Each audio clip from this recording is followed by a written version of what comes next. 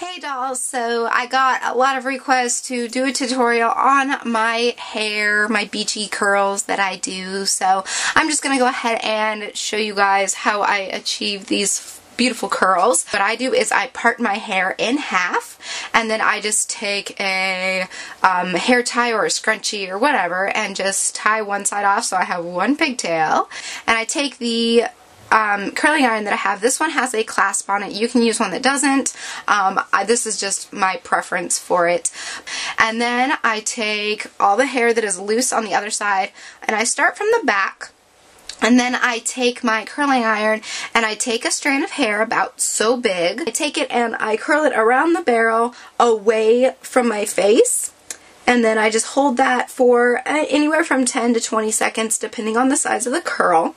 And then I will take another strand and curl it the opposite way. So it will be towards my face instead of away from my face if that makes any sense. So you just want to go ahead and do this to that whole side of your head that there is loose hair. And then after you've done that, I actually have layers in my hair, so I'm just going to take the shorter layers and do the same thing. And then sometimes I like to take the clasp and do it with the clasp instead of just wrapping it around the barrel.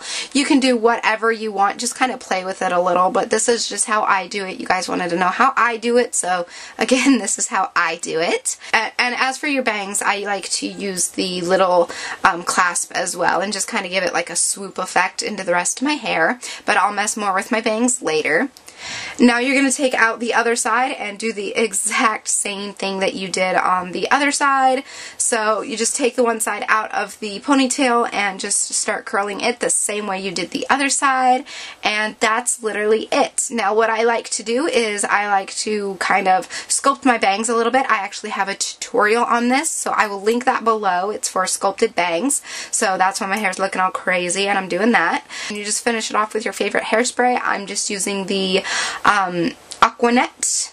And yeah, that's actually it. I hope you guys thought that this was somewhat helpful in a way. It was highly requested, so again, I hope you guys enjoyed it and I hope it was helpful and if you want any more hair tutorials go ahead and comment below um, any questions comments or concerns as for a heat protectant I do not use one I know that I need to start using one but I currently do not use one so um, yeah, I think that's actually going to wrap it up, and I will talk to you all in my next video. Bye!